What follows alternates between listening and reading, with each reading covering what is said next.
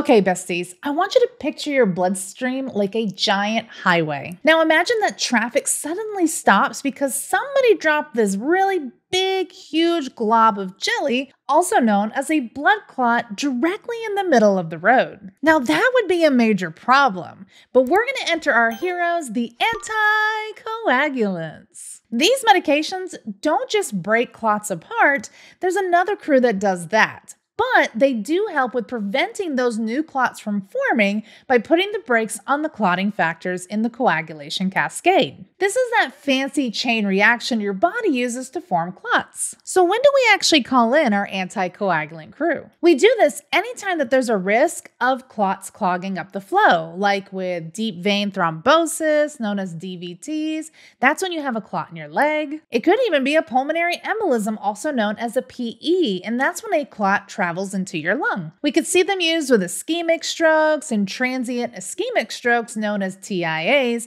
when we have a clot in our brain. And you can also see them when it comes to coronary artery disease, known as CAD, or heart attacks, known as myocardial infarctions, when we have clots in our heart. Going back to your medical terminology, it's really easy if you break down the word to understand what's happening with these particular medications. We have anti, which means against something, and coagulants, which means clotting. So if we combine them together, we have anti clotting. We're against clotting. And we need that in order to keep that flow going through all of our blood vessels. So, what are some other common reasons why we would use anticoagulants? Especially in the ICU settings, you can see it used with disseminated intravascular coagulation, known as DIC. DIC is when the body goes crazy. It goes into overdrive, forming clots everywhere, using up all the clotting supplies really, really fast. Anticoagulants can come in and they're going to help stop that chaos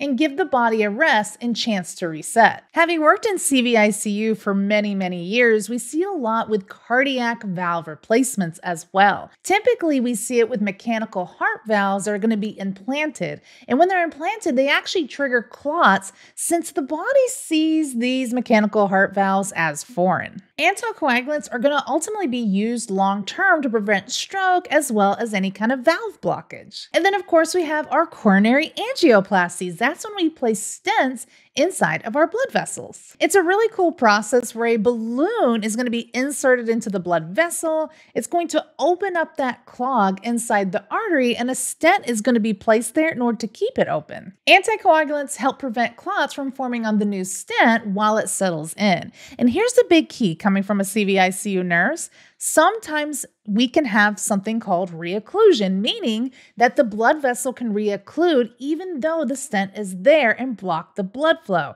So you always want to keep a special eye on these individuals to make sure that we are potentially not having any additional harm to them. Another commonly seen procedure you can see them with is cardiopulmonary bypass. So during open heart surgery, a machine takes over for the heart and lungs. So we typically give them anticoagulants to keep that blood from clotting in the tubing of the machine. You can also see it with percutaneous coronary intervention, known as PCI, and this is just another fancy way of saying angioplasty done through the skin. Extracorporeal membrane oxygenation, known as ECMO, it's really cool if you ever get a chance to see it. We use this really for our most critically ill patients because this ECMO machine helps oxygenate blood outside of the body. So anticoagulants help prevent that blood from clotting so that we don't risk, you know, clotting up our life-saving circuit. And then of course we have hemodialysis. In patients typically with kidney failure, dialysis helps filter out that blood through a machine. And of course, anticoagulants would make sense in those situations. One of the best ways I like to remember this is using the mnemonic blood safe,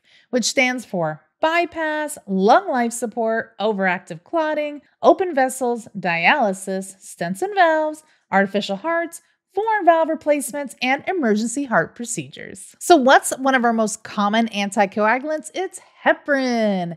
Heparin is the most commonly used one in the hospital setting. It is considered a high alert medication because if it's given incorrectly, it can lead to very serious harm, especially when it comes to dangerous bleeding. So, precision is going to be everything here. Heparin IV infusions are usually based on the patient's weight, and that means that we have to calculate the dose using the patient's body weight to make it safe and personalized as possible. Once that infusion is running, we monitor the patient's APTT, also known as activated partial thromboplastin time.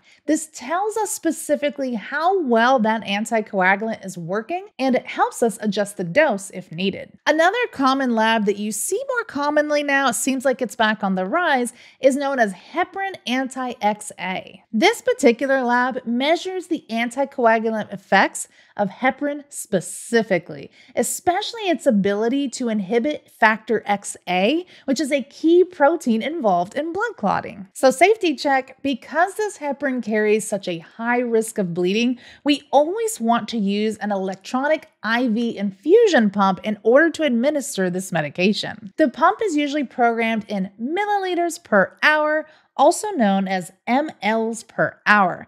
But heparin is dosed in units per hour. So we're going to need to do a little bit of conversion in order to figure out how to provide this medication. So let's see how we're going to calculate giving an IV heparin based infusion based on weight based dosing. I want you to meet Nurse Noy. She's working in a busy shift in an intermediate medical care unit. One of her sweet patients today is Miss Edna. She is a sweet 76 year old woman who's been diagnosed with a pulmonary embolism. Remember, that means that she has a blood clot in her lungs. Nurse Noy is going to check Edna's electronic health record, also known as EHR, and finds that her current weight is documented as 76 kilograms, and her current baseline APTT is 37 seconds. This lab will help guide us as we dose and adjust our heparin. When you're caring for patients on the floor, you also want to double check what was administered in the emergency department. Because as we can see here,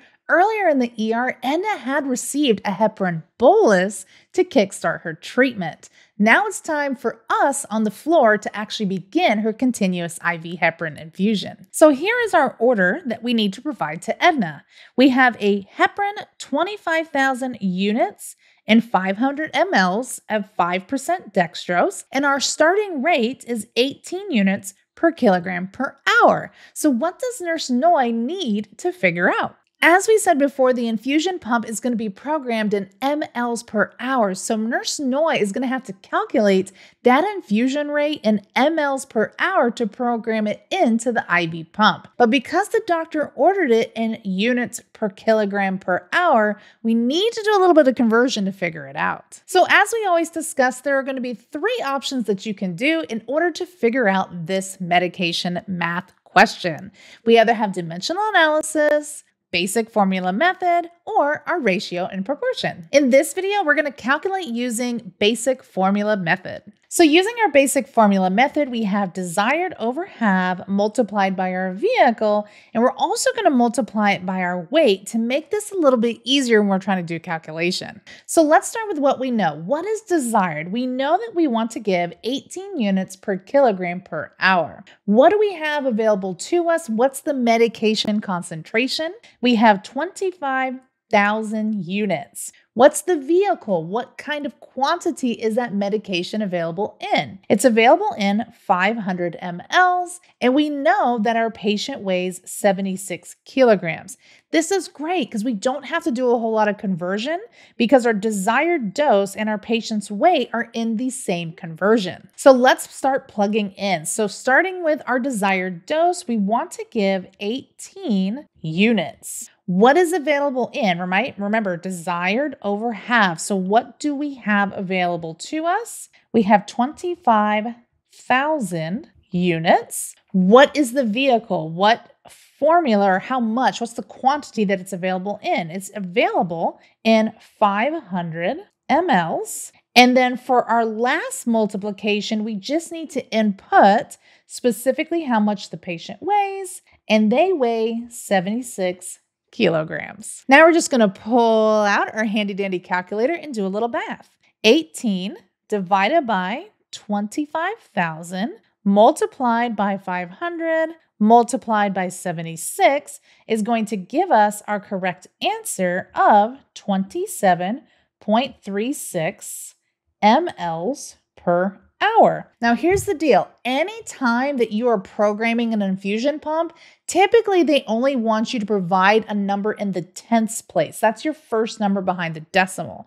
So, because we have an additional number in the hundredths place, we would need to either round up or round down. In this case, because that number is higher than five, we're going to round up the number in front of it. So, that means when we program our pump, we're going to program the pump to 27.4 mLs an hour to make sure that we have an accurate pump. If you're new to med math and you're having a little bit of a difficult time solving these dosage calculations, I recommend starting here. This is everything you need to know about how to solve these types of equations. As always, I'm going to catch you in the next video and I hope you have a wonderful day, besties. Bye!